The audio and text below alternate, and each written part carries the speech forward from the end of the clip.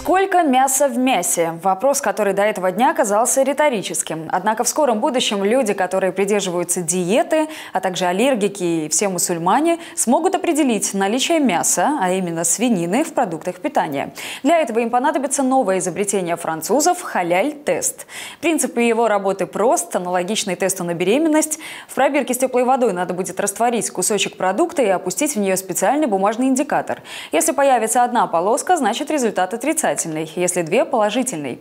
Точность анализа 99%. Впрочем, несмотря на свое название, данный тест не способен доказать, что продукт действительно халяльный. Ведь здесь играет роль не только отсутствие свинины, но и такие факторы, как забой животного, а также способ приготовления блюда. В ближайшем будущем французские специалисты планируют создать также тесты на содержание белка коровьего молока и глютена в составе продуктов.